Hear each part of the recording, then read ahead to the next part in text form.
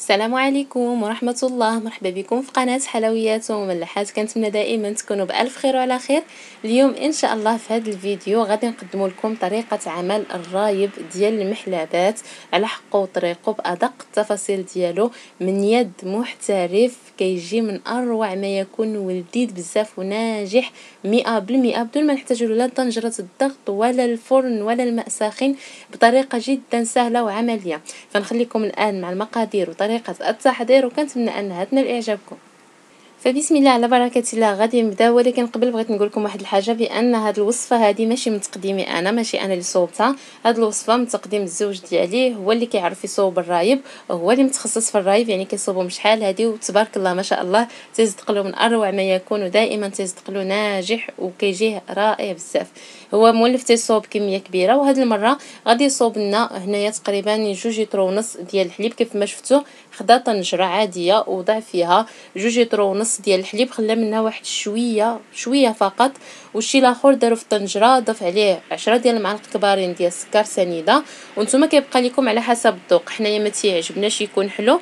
ضفنا فقط عشرة ديال المعالق كبارين. ممكن تضيف هكا 13 ولا 14 يعني على حسب الذوق ديال كل واحد.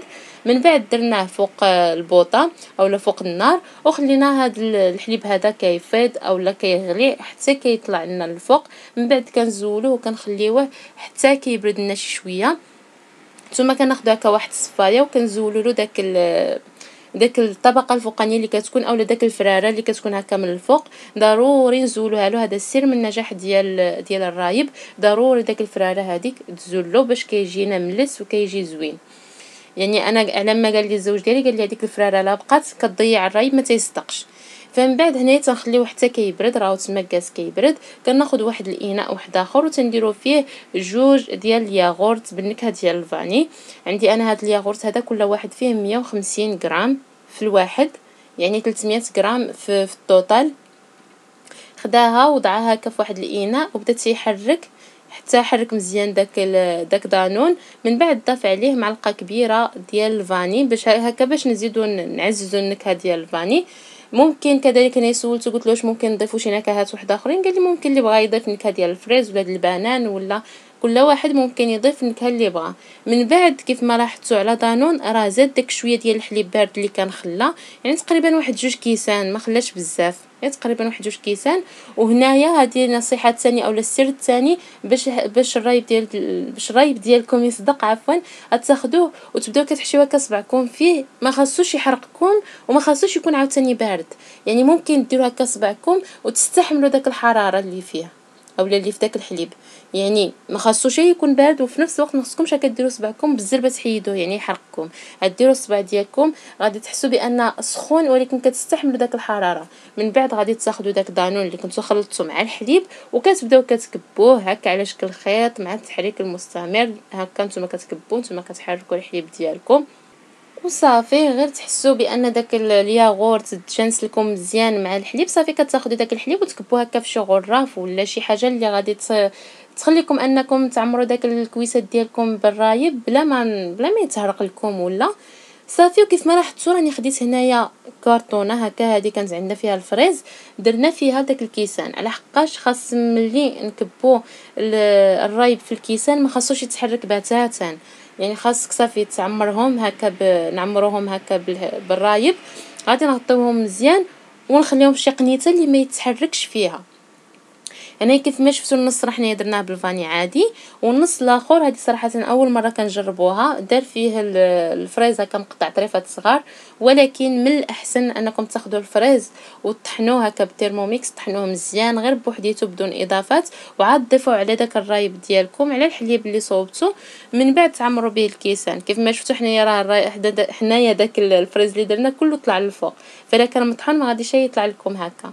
كيف ما لاحظتوا هذا السر من من الاسرار ديال النجاح ديال ديال الرايب ما خاصكمش ديروا له البلاستيك ما خاصكمش ديروا له زعما السلوفان منه الكاس. سولت راجلي قلت له علاش ما ديرش السلوفان منه الكاس؟ قال لك من بعد داك الندى اللي تيدير اللي تيدير الرايب كيقطر في الكيسان وهذا كيخلي داك الماء بان بأن الرايب يفسد. يعني من الأحسن تاخذ تاخذوا غير وراق عاديين هكا وتغطيو بهم داك الكيسان من بعد عاد تغلفوهم هكا بشي بلاستيكة. اولا طرف ديال الكارطون تغطيو بهم داك الكيسان ديالكم وعاد طرف ديال الميكا. ولا مثلا هذا الورق النشاف ديال المطبخ اولا ورق المطبخ. ومن بعد عاد ديروا فوق منه الميكا. يعني ضروري خاص شي حاجة اللي تكون هكا تشرب داك داك البخار اللي كيطلع منهم. كيف ما شفتوا حنايا هنا خديناهم خرجناهم على برا درناهم فوق الماكينة ديال التصبين. خديت هكا واحد المانطا فرشناها من التحت. من بعد حطينا داك داك الصناديقات اللي فيهم الكيسان وغطينا عليهم مزيان كيف ما لاحظتوا بهذه الطريقة هذه صافي وتقلنا عليهم بواحد بواحد البيدو ديال المنظف كان عندي تماك. صافي كنخليوهم. حنايا تقريبا آه، خليناهم كنا صوبناهم مع 4 ديال العشية وما حلينا عليهم حتى ل 12 ديال الليل. يعني من بعد آه، المهم راه دازو شي سويعات عاد حلينا عليهم. بعد صافي كنحلو عليهم عادي بشوية عليهم. المهم تنطلو في الأول صراحة مشيت تنحل عليهم تنطلل غير من الجنيب كنشوف واش صادق ولا لا. ساعة تبارك الله عليه ما شاء الله صدق واعر. والله البنات صدق غزال بزاف بزاف. صافي هنايا كناخذوهم وتنديروهم في الثلاجه يعني كتخليهم في الثلاجه حتى كيبردوا مزيان. هي من الأحسن تخليهم حتى الغد ليا عاد تاكلوهم. فأنا صراحة ما قدرتش نصبر جربته في السحور. خليته من 12 تقريبا حتى حتى 4 خديته تقريبا واحد ربعة ديال السوايع وخديته وها النتيجة قدامكم كيف ما كتشوفوا. كيجي من أروع ما يكون وناجح مليون في المئة. كنتمنى أنكم تجربوه ويعجبكم. يعني راه كيجي عاقد وكيجي زوين بزاف وكريمي يعني ما تشبعوش منه. فلهنايا وصلت النهايه ديال الفيديو ديالنا. كنتمنى أنه ينال إعجابكم. قبل بغيت نشكر الزوج ديالي بزاف بزاف بزاف لأنه عاوني في هذا الفيديو هذا وصوب معايا الرايب. فكنتمنى أن الفيديو هذا ينال إعجابكم. ما تنساوش كالعادة لا عجبكم دعموني ب les likes تشتركوا بالقناة باش دائما توصلوا بكل ما هو جديد. تبارطاجيو الفيديو مع أصدقائكم باش هكا تفيدوا الناس اللي متينجح ليهمش الرايب. وأنا نشوفكم في فيديو جاي إن شاء الله بحول الله مع وصفة أخرى. دمتم في أمان الله وحفظه. السلام عليكم ورحمة الله.